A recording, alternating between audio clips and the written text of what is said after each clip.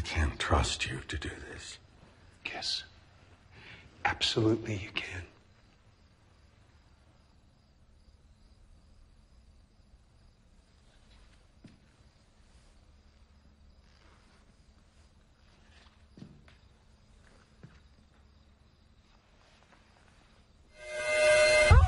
Don't move, don't.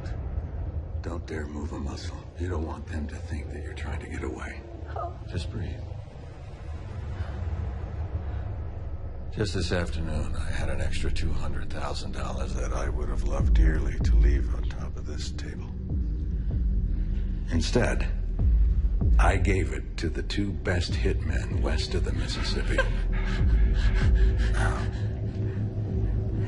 whatever happens to me tomorrow, they'll still be out there. Keeping tabs. If, for any reason, that my children do not get this money, a kind of countdown will begin.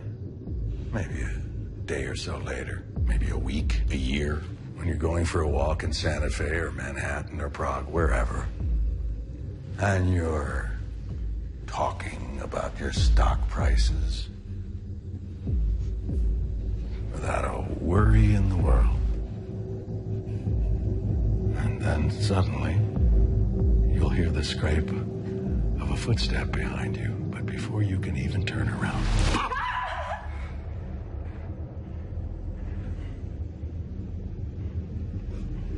Darkness.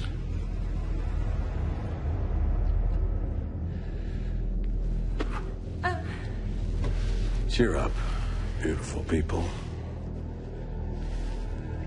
This is where you get to make it right.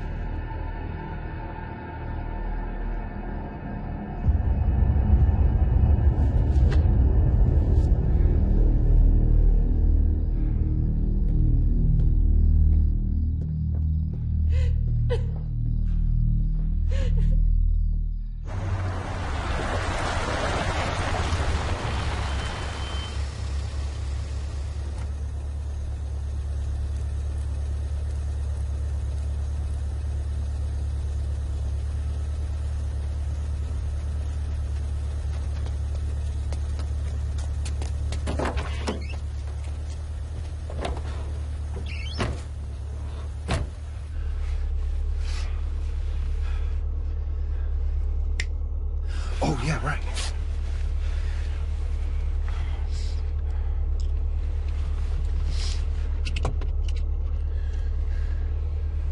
You know, I don't exactly know how to feel about all this. For real, yo.